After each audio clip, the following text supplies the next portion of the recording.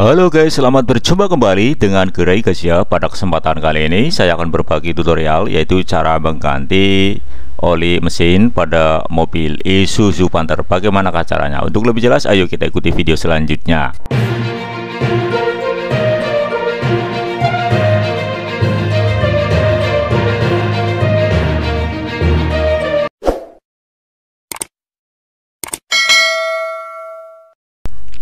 Sahabat guys ya, untuk mengganti oli mesin pada mobil sangat mudah.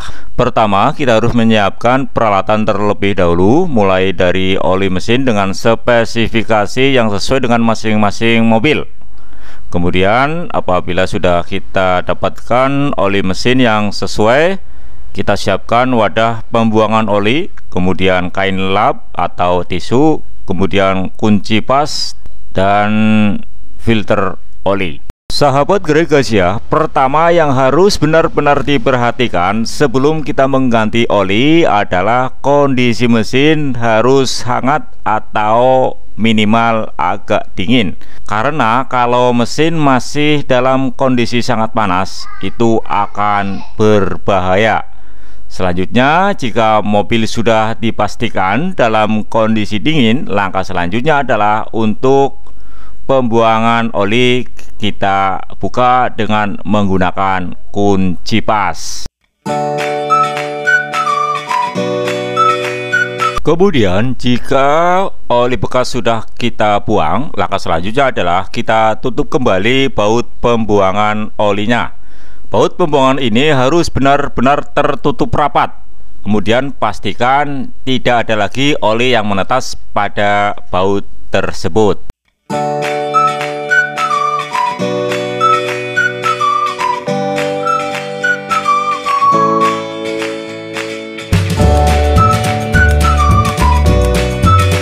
Kemudian jika sahabat Gregasia ingin mengganti filter oli Langkah selanjutnya adalah kita buka filter oli tersebut dengan kunci khusus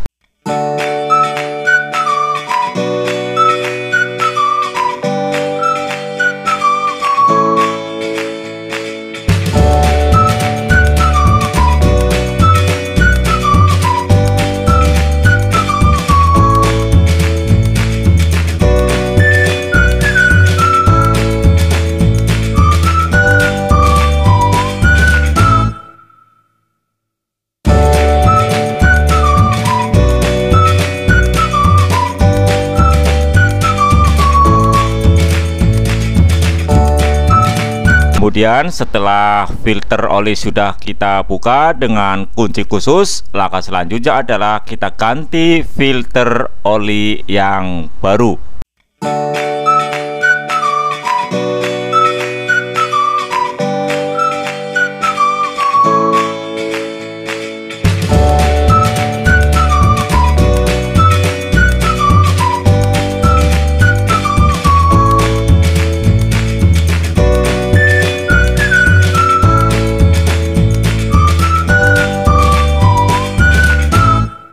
Kemudian langkah selanjutnya adalah kita tuangkan oli mesin baru ke dalam lubang pengisian. Pastikan saat melakukan pengisian tersebut takaran oli sudah sesuai dengan yang dibutuhkan dan hindari mengisi oli dengan takaran berlebihan ataupun kurang.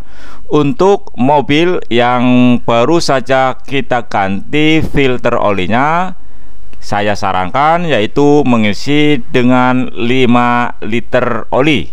Kemudian jika penggantian oli tanpa kita ganti filter oli maka saya sarankan untuk mengisi oli mesin yaitu empat setengah liter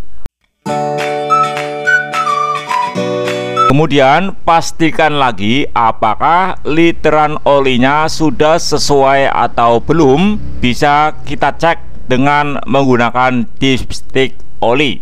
Kemudian jika oli sudah dipastikan terisi sesuai dengan takaran anjurannya Maka kita tutup kembali lubang pengisian oli hingga rapat Dan barulah untuk menyalakan mesin mobil Saat mobil baru dinyalakan, sebaiknya juga diamkan dahulu mobil beberapa saat sebelum mulai dijalankan.